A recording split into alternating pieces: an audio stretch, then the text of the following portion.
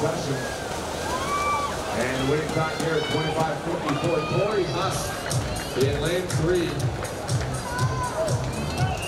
Huss with the second fastest time through 17th, heat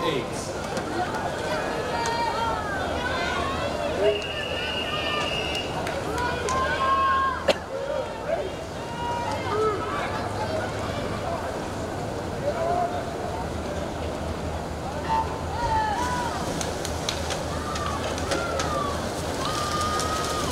Long course nationals record in this event, a 24-25, set in 2008 by Dara Torres.